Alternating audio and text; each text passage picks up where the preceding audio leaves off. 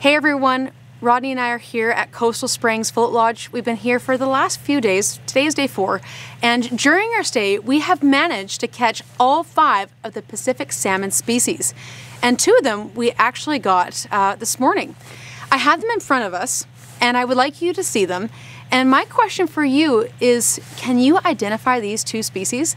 I think they look very similar. And one of them is actually, it's my first time seeing it ever um, in this condition out of the ocean. So I'm really excited to show you. So let's take a look at these fish.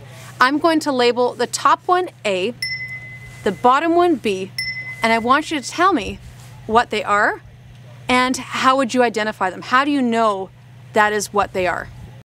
2,000 years later. So here I have two of the five Pacific salmon that we've caught during our stay at Coastal Springs Float Lodge. And now I'm going to go over each of the fish and uh, their traits on how you can ID them. So are you ready to find out what these mystery fish are? Let's take a look. So here we have our chum salmon.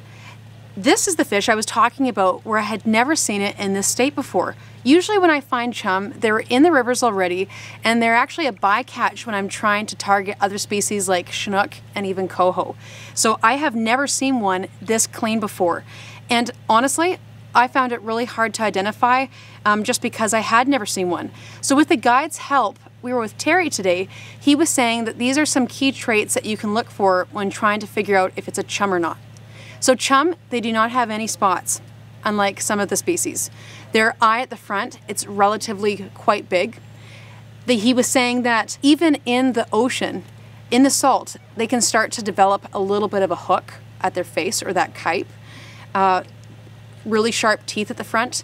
And the tail, if you look at the wrist, it's quite narrow um, compared to Chinook or let's say Coho. Also too, Tail, again like the back, spot free, and usually is quite, it is quite bright. Are you ready to see fish B? Here it is. Here I'm holding a coho salmon, again one of the five Pacific salmon, and coho I, I feel are easy to identify just because I've fished for them probably the most out of the five salmon.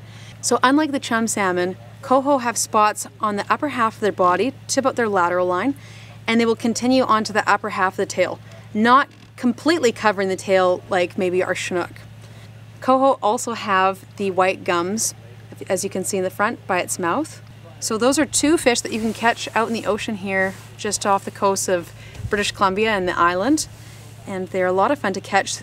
They even behave differently. I found that the chum, when we were reeling it in, it was um, just going below the boat and hunkering, whereas the coho, it reached the surface a lot quicker.